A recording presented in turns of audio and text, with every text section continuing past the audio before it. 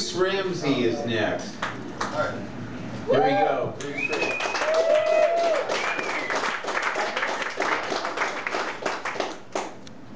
Sorry, I just got uh, rained on out there. It's raining? It's a rain poem, exactly.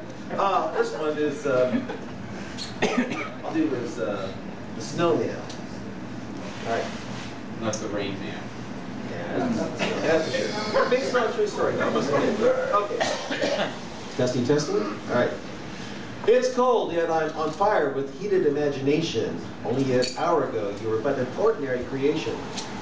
With my fingers aching and toes in pain, I chisel at you again and again. No longer a snowman, are you? The scares and the hems of pacified prove that they do. You are now my snowman, shaped into a form I crave. In time, you, like beautiful creations of old, will be faded, sad, and gone.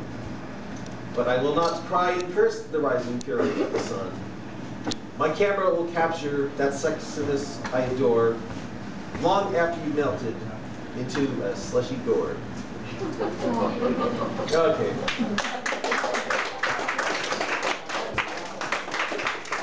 Oh, I tell you, I tell you. I took the pictures. That, that girl was doing that well. Okay, look at it. You like to tell,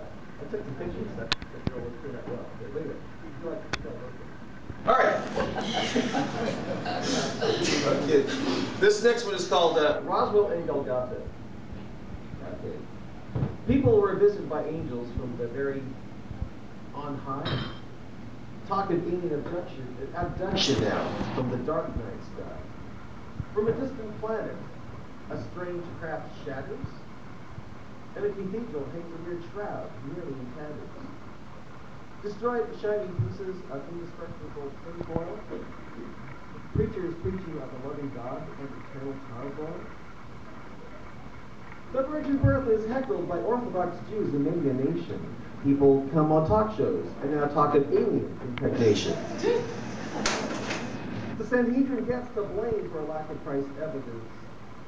Talk of an alien UFO cover-up grows ever more intense.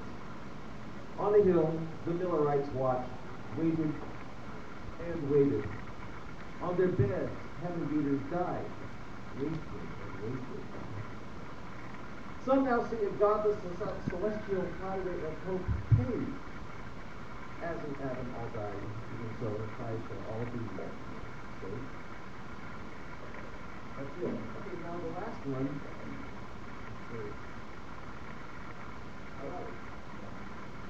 They taught that the orbiter into the zone. Horror must have been the only pilot that day when, project, when protective shielding proved gone away. How lucky to be ignorant of missing tires, when evidence would have fueled terror denial. Helpless we watched with our dreadful looks as heroic souls flamed in history books.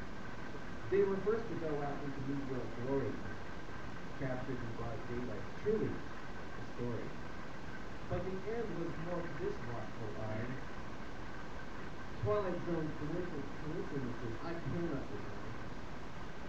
Some saw it as punishment from the divine, brought about by contemplated Palestine.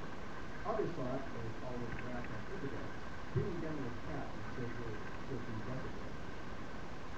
True, there was that first ever astronaut, and did he walk away? Sadly, he did not. With a valiant ship did indeed disintegrate. Its bright sail leaving me to contemplate. And why did God allow a ship to do so far? To destruct where the planets go. Planets go.